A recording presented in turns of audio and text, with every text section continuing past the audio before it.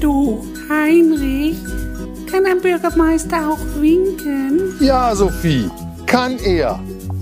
Und macht er auch. Wählen Sie Heinrich Welsing. Warum? Weil er es kann.